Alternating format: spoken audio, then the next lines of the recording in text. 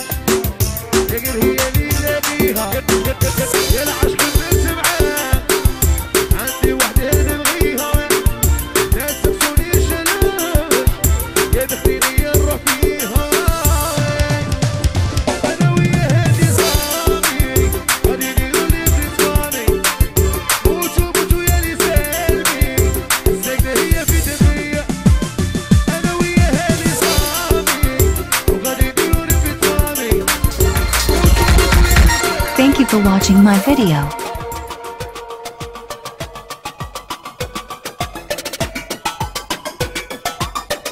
Please, don't forget to subscribe.